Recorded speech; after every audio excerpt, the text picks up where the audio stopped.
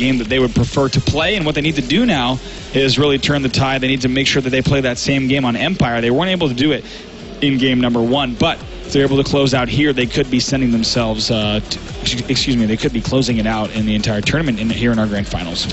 All right, then, guys. So if you are joining us, we're moving into game number three. It's all tied up one to one. Epsilon versus Supremacy in the grand finals. Remember, tweet the stream, let everyone know what's going on today. We'll be showcasing some great maps and some great Halo for some great teams this moment in time. Tweet the stream. Remember to follow us at Halo and at HCS, our new account for everything officially Halo Esports. Twitch.tv forward slash Halo. Tweet the stream. Let everyone know what's going on today. We know it's a bit early in some places, but everyone who's joined us today on Twitch, we thank you ever so much. Oh, yes, indeed. Now, as we see the players to watch for this match, Jimbo versus Ramirez. Uh, Jimbo, of course, a uh, player who we've seen him do nasty, nasty things uh, with just about every single weapon, and especially the overshields. And Ramirez, of course, uh, vocal leader on his squad. You see his team getting pumped up after game number one. Didn't pay off in game number two, but now in game number three, they're going back to Empire, and they're looking to close this game out. One of the things I got to say, Sims, you got to see a preview of the spectator mode uh, at the briefing on Tuesday. Fortunately, we don't have that in this build. This is a little bit of an older build that we're using here, but uh, a, build, a build that the team uh, that the team worked on for E3. So we can't show any of that spectator mode here today, but of course, looking forward to showing that uh, a bit more of that uh, later on. And also, course, uh, we're only showing off two maps today in this preview, but as we mentioned a little bit earlier, in case you missed it, we will have over 14 arena maps in Halo 5 Guardians when all is said and done. So excited to see, uh, of course, tournament play uh, on, on, all those maps. In Halo 2 Anniversary, you know, only working with three maps certainly was a challenge. And I think now uh, for Halo 5, uh, having a, such a large map pool will be pretty exciting, and we're actually going to have to make some serious decisions about which maps aren't played, right? Well, we, just a quick one going back to the uh, the player versus player that we saw. It's kind of when you look at that one, that's new blood versus old blood. You got the new style of player, Jimbo, very very fast, very very twitchy.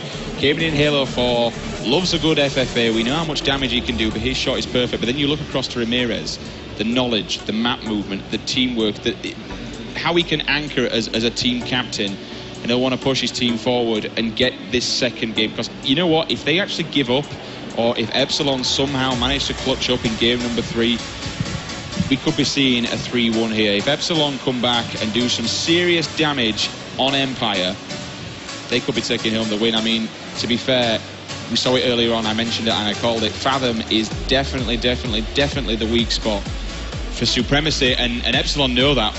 But then again, they're well, not going yeah, to go out without They need to right, and Epsilon needs to steal this empire, right? They need to steal yeah. this game number three. You see, t- take a look at our series here. Supremacy closing out 50 to 42 in game number one, and Fathom goes to the Epsilon 50 to 27, a commanding lead there. But if Epsilon can steal this empire win, and then I'll go ahead and win on Fathom, I think that's their best route for success. However, we could be going to a game five if Supremacy is able to put on that pressure and possibly even turn things around there on Fathom. But after we saw what was possible from Epsilon, I, I don't know if I see Supremacy taking uh, game number four if we go there. I think it's all this next game is vitally important, especially for Supremacy. If Epsilon do take it, they're definitely going to take the Fathom, in my opinion. It, it just seems to be their, you know, their Achilles heel, so to speak. And again, I'm not sure why.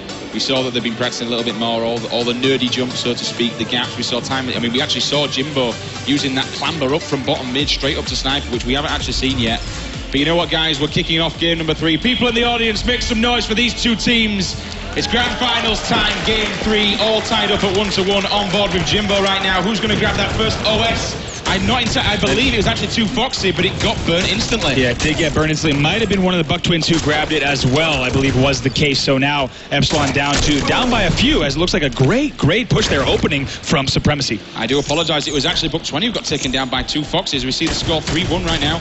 Riots with the with the BR looking to catch another player off guard. Grenade goes down, looking for some hit markers decides to opt out and not bother moving forward as he looks across from this is the fan area at this moment in time. I don't think he really knows where this player is. He jumps upon the sneaky. Yeah, looks like he has a little bit of help here, so he's not too worried, but he, he will pick up that headshot as well. But the one thing that Supremacy needs to do here is keep the pressure on Sims. They're up early by four kills. They need to make sure they're timing the next overshield, which will drop right around that 10:52 mark, uh, which will be actually just shortly in a few seconds. I really don't think Riot's expected that. The player came back to his dreams. Unfortunately, Buck 20, and that's if. Oh, the hatred and the dis. Oh, Ramirez unfortunately, with the teabag there. He did have the shotgun in the back pocket. He did not expect that to come out of nowhere. Unfortunately, as a player drops down, another one for Ramirez, controlling that shotgun. This is a huge play for him.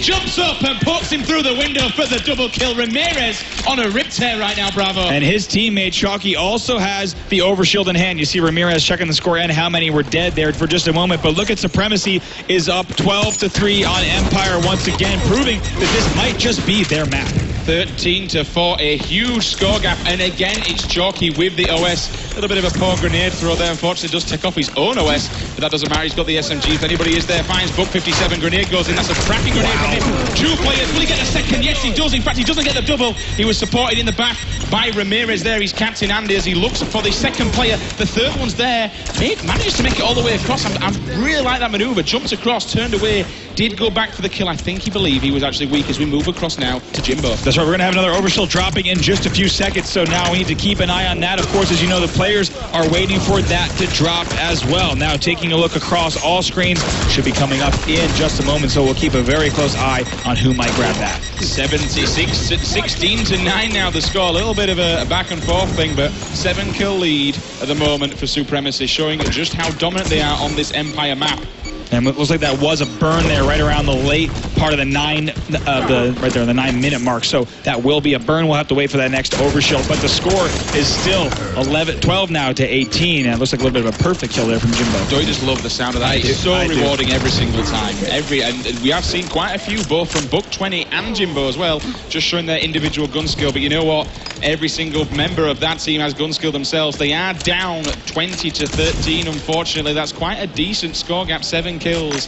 But you know what? Supremacy can kind of just go on the offensive a little bit. They can just sit they, back and chill and, and, and kind of let Epsilon come to them. However, it really looks like they want the T-Tower setup. Yeah, of course, they want that, and they want to be able to grab this next overshield that will be dropping shortly. We're keeping another close eye on that to see exactly who might be grabbing that, but Jimbo still with shotgun in hand. 16 to 21, they are fighting back. I'm surprised they've gone for it as we see OS that was a, again. That's right. Chalky went for the burn there, so Epsilon Esports uh, able to shut down that Chalky grab, which is going to help them because had Chalky gotten away with that overshield Sims, we could have seen a very different story. But look at the score. Epsilon now poised potentially to steal this game number three from Supremacy. Oh, Jimbo whips out the shotgun and shuts Riots down instantly. Grenade goes in, no hit markers though, moving forward looking to support Buck 20, which he does with perfect ability. Takes Foxy down with that big shotgun.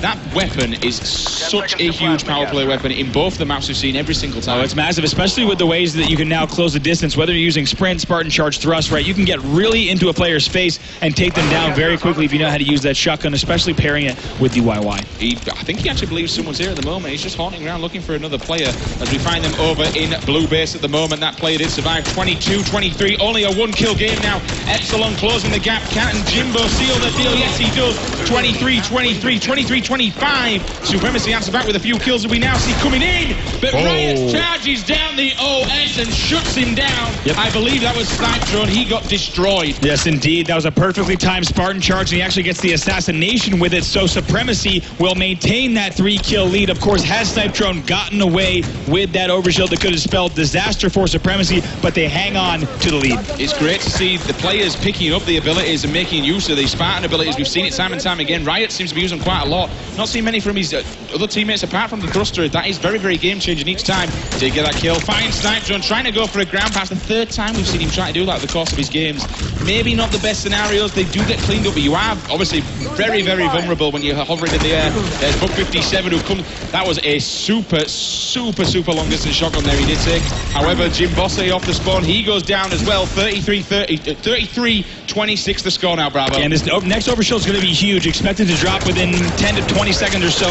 I think the players are now setting up for it, and it really could turn on the match. And now it is up. I think Chalky got, no, excuse me. I spoke too soon. I think Jimbo is going to get away with it. Yes, indeed. What a steal from Jimbo. I thought he were going to grab it as well, but he didn't manage it. He had the shotgun. This is going to be a big kill from Jimbo if he gets that double kill and a quick beat. Can he get that in this triple at the moment? It's going to be Riot. Unfortunately, he has to reload, and Riot says no. Jumps out of the way, but comes back to shut him down with the AR as we now move across to Snipe Drone. 30 to 38. Once again, Supremacy just putting the pressure on Epsilon and extending that score gap. 31-39 now the score. Eight kill game, six minutes remaining. Yes, Bravo. it's not over yet. I, uh, uh, you know, if you're a Supremacy fan, you're, you're wishing that was the case, but Epsilon is still applying the pressure. They're only down by eight, and a team like Epsilon could come back in this if they maintain control of this and they grab the next Overshield. You see, so far the Overshields haven't been a huge factor just yet. Each team has shut them down throughout almost the entire match.